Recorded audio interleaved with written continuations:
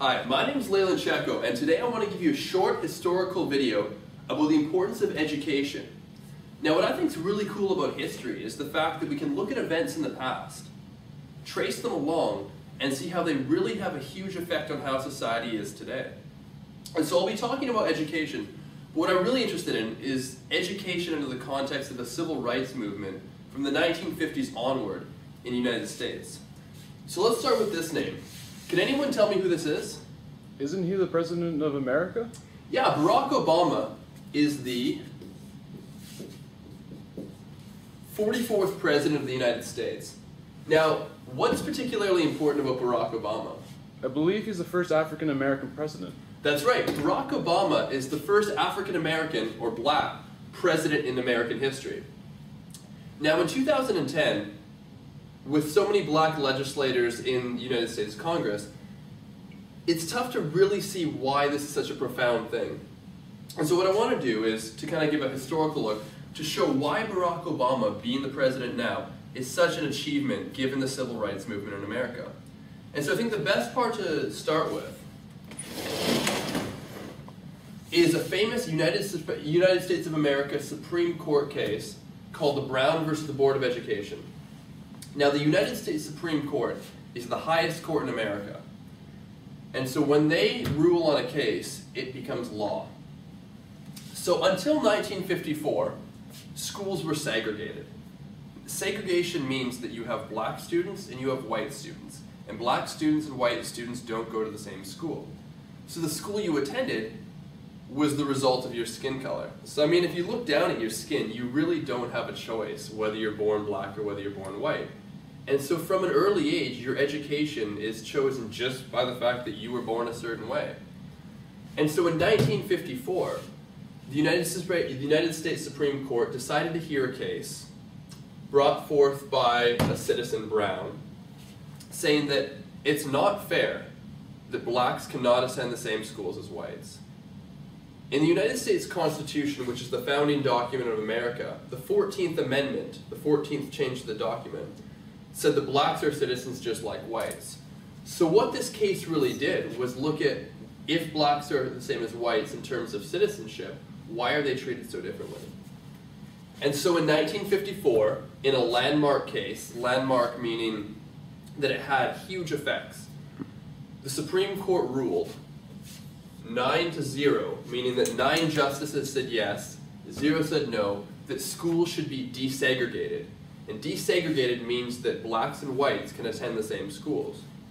So this was an incredibly important event in the civil rights movement. And the civil rights movement was a series of changes in America that gave more and more rights to African Americans in American society. But not everyone agreed with the Brown versus Boards of Education ruling. And there was an incredibly famous event called the Little Rock Nine. And this took place in the state of Arkansas, in Little Rock, Arkansas, in 1957. And what happened was the governor of the state of Arkansas didn't agree that students should be allowed to attend schools not based on the color of their skin. And so he said no black students will ever attend a white school. And so he sent in the state troopers, which was the state military, to prevent these students from, the nine students from entering one of the schools. And what happened was that when a United States Supreme Court case becomes law, the president upholds that law. And so President Eisenhower at the time sent in the National Guard, which was the United States military, to allow these nine students to attend school. And eventually they did. But what I think is really important is that the Brown versus the Board of Education ruling happened in 1954. But Barack Obama wasn't elected to office until 2008. So how can we have almost a 54 year difference between blacks being allowed to attend the same schools as whites and the first black president being elected. And so what I really want to talk about now is how long it takes for change to happen. Because just because this became law, it didn't happen overnight that someone could be elected the first black president. And so I've made a list here of incredibly important events in the civil rights movement. And you can see Brown versus the Board of Education is the first one in 1954. But it's not until the 90s, the 1990s, when most of you were born, that we see it starting to show fertile ground for the first president to be elected. And so we talked about Brown versus the Board of Education in 1954 and how that was the first case that showed that blacks and whites should be allowed to go to the same school. And Little Rock, Arkansas in 1957, only three years after. But what about the March on Washington, where 200 to 300,000 African Americans marched on the city of Washington, D.C. to protest the fact that they couldn't get jobs or a better education just because the color of their skin. And look at, I mean, look down at your skin. It's not something that you can choose. I mean, all your parents, do they have jobs? Just imagine if they couldn't get jobs just because the fact that their skin was a certain color. And this is what was happening for millions of Americans. But the law had already changed, saying that blacks could attend the same schools as whites. So why weren't they? And this march in 2000, uh, sorry, in 1963, with more than 200,000 people, was a protest on that. And then we can look at President John F. Kennedy and Lyndon Johnson in the 1960s giving, I guess, civil rights, uh, civil rights acts to make law that blacks and whites ought to be treated more equally. But what was really interesting here is that the March on Washington and the Black Power movement were populist uprisings, meaning that they were comprised of groups of angry people because they felt that the government rulings weren't working fast enough. Because, and they, they may have been right, because if we look back, 1954 is when the ruling is, but by the 1960s, more than 10 years after, it's still unequal.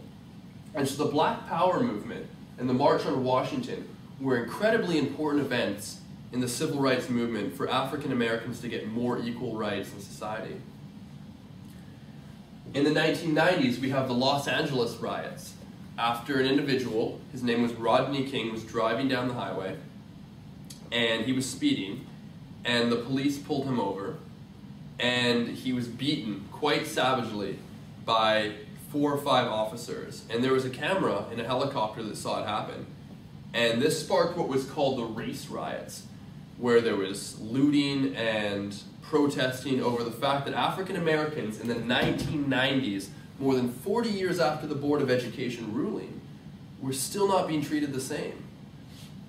And so we can look back to the Board of Education and see such an important ruling saying that blacks and whites should be treated equally, but we see 40 years after it still wasn't the case. And that's why the election of Barack Obama as the first African American president was so important. And this brings us back to education. Because education in the States is considered a fundamental human right. But up until 1954, almost half the population was denied that human right. And education is incredibly important. It gives you a new perspective on how things are. Just imagine if everyone in the classroom had the same experiences. You wouldn't get different opinions. And so up until 1954, all you had was white students giving white opinions and black students giving black opinions. And you didn't have that mixing, and students didn't realize what it was like to come from a different background. And that's why education is so important, is because it gives you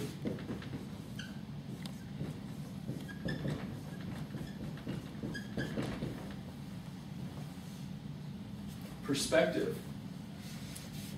But at the same time, it also allows you to access so much more in society. Because you're not going to find a president in America who didn't attend school. You're not going to find a person elected as a Supreme Court justice, as a congressperson, who didn't go to university, who didn't go to high school. And so education is so important in America to attain high status as a politician, as a, as a lawyer, and so for so long, America said there's two types of education, those for the whites and those for the blacks.